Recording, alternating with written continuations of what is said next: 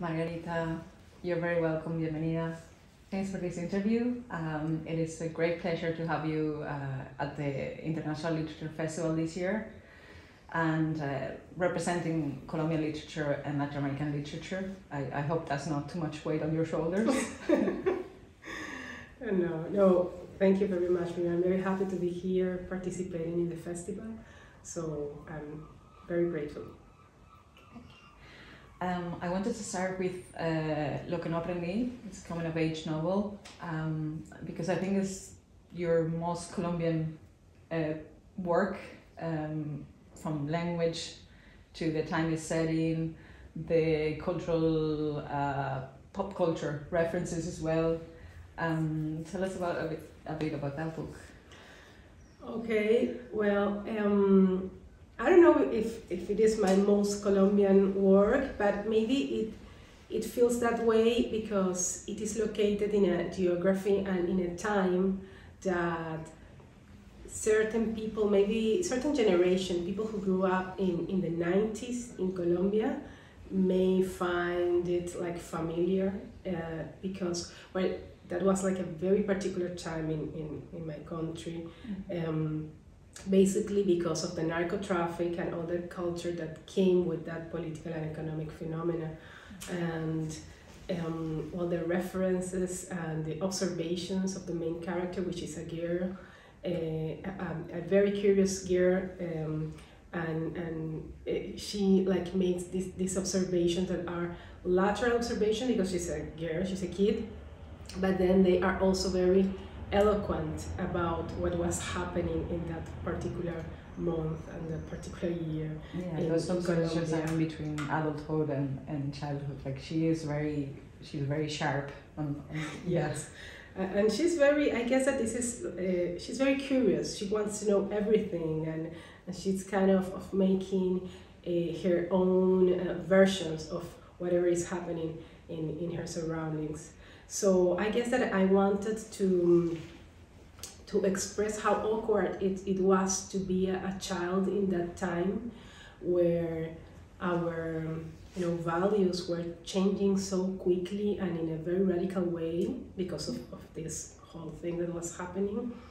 And everything that we um, given have, have given for certain was like it seems back then weakened and malleable okay um, can I ask you how long was the novel in the in the drawer like we say like how was was there the, the idea was there and if that second part, which is kind of written from Buenos Aires, where you live now, is how it came to be or how it found a, an ending? Mm. Well, I must say that I, I don't spend that much time writing a novel, but I do spend a lot of time in the like correcting it in the in the correction process. I that is the, the part I enjoy the most. Mm-hmm. Um, and it, it, it was like a long process um, and I guess that this was the, same, the, the first time I did something that I kept doing in my later books that was like, I think that it is like deconstructing the, the story because in the in the first time I there is like the um, the written part the plot you know and then in the second part there is like the, the I, I, I say that it's the unwritten part what, what you cannot um, understand uh, literally. Yeah. It is like my main concerns were in the second part. Um, and and this is uh, I guess that it was like the first time I did it in but in this novel it was like more obvious than in, in later books. Because what, what I did in the second part was trying to reveal to the reader the, the procedure, you know, like the method, like, like, okay, this is what happened, or it may not be, because what I was trying to say, maybe it was that constructing um, memory, it feels exactly the same as, as constructing fiction, as writing fiction. It so is, it is a fiction of it is, own, yeah. of, of course. So, so that was like the the point and I knew that, that the first part was like a container to fill with, with this sensible content. Um, we um, you have two books published in English. You publish it in, in English is Charco Press. Um, and basically they they collected uh, short stories and a short novella in Fish Soup and and the second uh, book is Holiday Heart, is your most recent novel. Um, I wanted to know how involved do you like to get in the in the translation process of your books into English because I understand you, you Yes. well you, you speak English uh, and how different uh, the approach to those two books coming out in English was.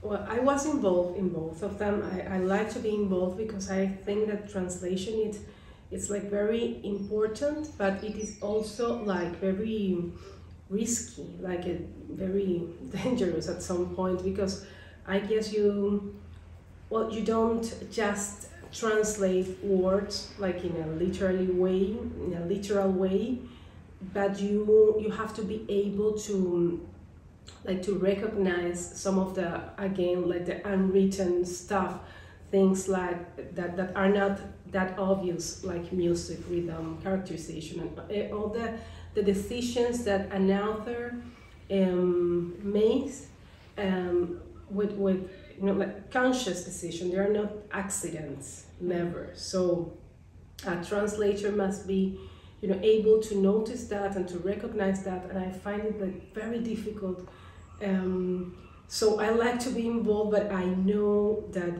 it, it isn't you know a thing that I can control in the in the, in the uh, final result. So so although I was involved, I am never sure that it, it gets will- to the it will point. get there, yeah. Yes, and um, it was Charlotte Coombe that uh, that translated Yes, she's books. great. She's great because I think that she she got some of, the, of these things, you know, like some tone. eh, Maybe is her age. Uh, I don't know. She's a, a young a young woman, and and she was like very.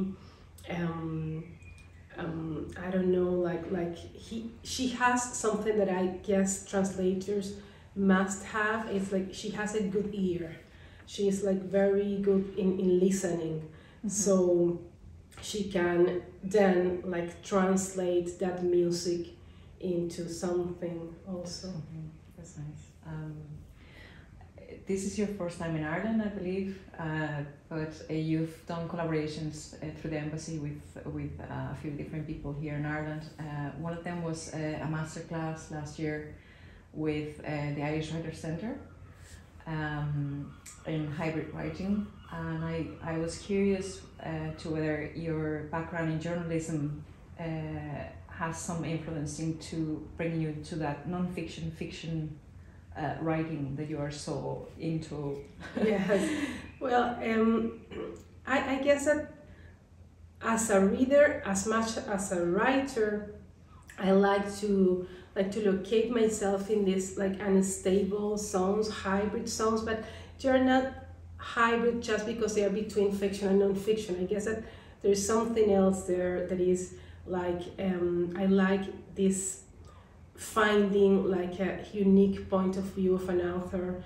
Other people may call it like author literature where, where you can you know like recognize the author because of of, of, of his own characteristics and and uh, and the decisions again the narrative decisions that that he or she takes um, uh, are, are very like um, recognizable. So uh, and, and they are like in, in this zone that you you never know uh, like what is it what you are reading because uh, they also like how do you say like experimentate with with Yeah. forms with narrative Yeah, forms experimental. uh, experiment with, with that, not only the, the you know the content, the, the story itself, the plot, they have like something else. So I like this, this kind of literature, this kind of, of pieces that are like rare and, and not not rare but but like unconventional, I must say. Um, and yes, of course, journalism was like a very good training for me. And you know, I, I, I remember especially this job I had in a newspaper. I had to to write a very tiny, very teeny column um, two or two hundred and a half um, words maybe it was very little Wow. three times per week in the um, in the back cover of the newspaper and it was very difficult because uh, it doesn't have any topic because you, you have to go outside and, and look for something related to the city and try to do like a little scene or little situation with whatever you find. So it forced me to look very close to observe. I, I remember myself like creating these kind of frames so so it will be easy to, to fill it with something like for example conversations i overheard overheard in the table next to me or whispers in the train or something like because you have to go out and recollect like voices of unknown people and do something with that. So i remember that like the most difficult job i had ever uh, i ever had um, but also the, the most productive one because I, I think that it was like a very good training for, for, for my observation especially I think I think the best dialogue is the one you overhear on the train. I, it cannot be, Yes, of and if you can bring that to a book, then you're a genius writer. yes Um, tomorrow you'll be talking to Sandra Newman about your most recent book, Holiday Heart, um, which is a it's a portrait of Lucia and Pablo, uh, two uh, two Colombian uh, people that go to the U.S. and they're successful. They have successful careers, um, but their marriage is going through a huge crisis. Uh, I was very interested in in the expat community that surrounds them. Do you think uh, the judgmental uh, views we have in an expat community is directly proportional to um, the endogamic characterization of, of those groups? Like we need each other, but uh, well in holiday heart i i guess i use some of my um, an experience i had in united states with these short-term writers residencies and there i found out that um, latin immigrants especially they are like very competitive between them. They they wanted to they are like they have like this hunger of recognition. They, they wanted to to stay there i guess. I, I wasn't interested in staying there in the united states but there were many colleagues that, that wanted that. So they became like very competitive and i guess they needed to be like together as you say but at the same time they they they wanted to to be better than Yes, than the of other. course. yeah. So I, I find it like very wild. I don't know the the way they relate to each other. So I guess I use that for um, the characterizations of Lucia and Pablo's relations with, with their environment. Especially Pablo was very frustrated because uh, of you know his his achievements that weren't like enough for him. And well so that's what i guess that especially in the united states it kind of thing of things happens because um, it is a country that spend like a lot of, of energy trying to to convince the world that they have room for everyone but we have plenty of proof that they don't so people it's always like expecting that they to- will make it. um, Yes, and, and- there might not be a place for them. Exactly. Yes, yeah. exactly. I think I think that's common to many countries in Europe as well. I think.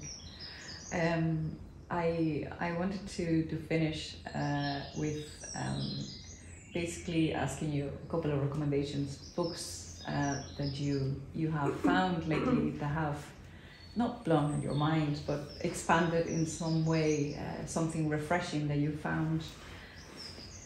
that's a very hard question I know yeah. because I I I have you know like many um, I have like a list that um, like manage to actualize itself like all the time so I sometimes I said oh this book and then the, the day after tomorrow I have another one so I, I don't have like a canon but I do have like preferences and I guess that when I want to feel like um, like comfort or uh, to experience this kind of of reading that I like the most, the, the, the ones that shocks me in, in, in some way, I read poetry. I, I love poetry and in that field I do have today a few recommendations that I love. Uh, one of them is Cristina Peri Rossi. She's from Uruguay and well, like everything she has written is really great. And then I love this um, Argentinian poet Estela Figueroa. Mm-hmm. They're like in my top today. um, I think you recommended Sofoco to me, uh, who is by uh, this these amazing short stories by Laura Laura Ortiz Gomez. Uh, She's a young Colombian writer. She's so great. I guess that she just uh, have this book, uh, short story book, Sofoco, that was published in Colombia by Laguna. That is a an indie publisher, very nice. I have also some of book with them and and it, it is great. It is really different from what you have. It's and um, it's so the language it's it's like so much reminiscence of colombian language i think. It's it's it's so rich. Yes. I, I really enjoy that one. And i guess i will finish now with uh, what's next? Margarita in english and in spanish what's coming next? Well I, i'm i'm about to publish a, a new novel in spanish. It is called la encomienda and in English it will be out I guess next year. It, it we don't have a title yet, so if you have any suggestion, um, and and I I, I think that before the novel, Charco Press, which is my, my publisher house here in English, um, uh, will will publish this uh, book of mine, Primera Persona that is like a collection of, of this kind of pieces I was trying to explain before, like this. Um, they are not fiction or non-fiction. They are like in this middle um, um, line. They, they call them different things: chronicles, essays. It's, it's they don't have essays, a name anymore. Uh, testimony, uh-huh. memories, whatever. And it, but I guess that these books, it, what I you know like tries to to make like an emotional map of a, of an of an, a narrator, which is the same one in every piece and in different moments of her life, trying to deal with situations um, depending on what circumstance she is and um, well that is I, I, guess it will be out uh, next year. Well thank you so much margarita. It's been a pleasure and uh, very good luck tomorrow. Thank you